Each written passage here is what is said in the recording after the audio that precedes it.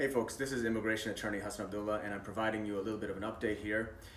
Normally, when you file a green card renewal, you can continue to stay in the United States up to, well, you can continue to travel abroad and come back without a problem, that is, for up to 12 months. And this was fine because USCIS would actually approve these within about, you know, four to six months.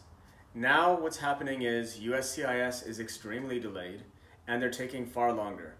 Uh, editorializing aside, this can take about a year to a year and a half, which is quite ridiculous. But with that being said, USCIS recognizes the long waits that people have to experience for their green card renewals.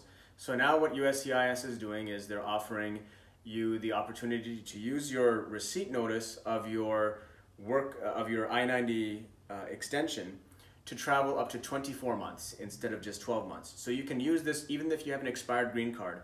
As long as it, uh, you're, you're, uh, you have your I-90 receipt notice, you can travel and come back. And of course, you can use this as proof of being authorized to work and being a permanent resident. Your employer should not have a problem with that. If you are having any issues, of course, you can contact the American Visa Law Group and we can assist you further.